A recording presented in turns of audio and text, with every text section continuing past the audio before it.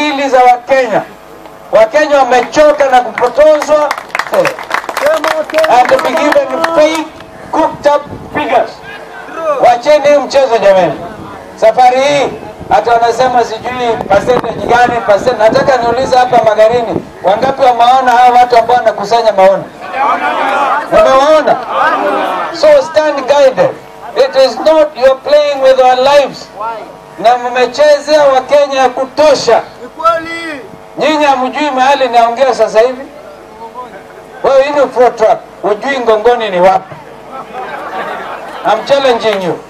Hujui kabisa Ngongoni wewe ni wapi? Ipsos Sinovac, hujui? So we are going to deal with you mundu kwa mundu. Wakati tumechoka, tumechoka. Hata kila wakati Kalonzo apatiwe tu 10%. Ala. Mtu amekuwa vice president, mgonganisha dunia nzima. Mimi nadhani mimi safari hii sitawaacha mwaribu ah, amani ya Kenya hii, mpoteshe watu kwa kupeana fake figures. This time we are going all the way, tunyoroshane na nyinyi mundu kwa mundu. Wangapi wanakubaliana na mimi? Watu wanapatia Wetangula 3%.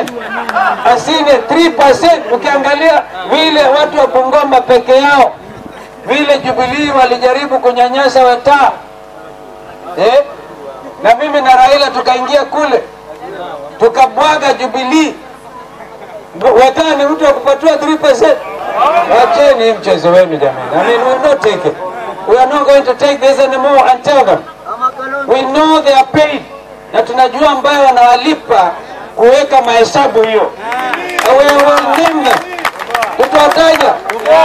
Wengine ni Jubilee, wengine ni sisi kwa sisi.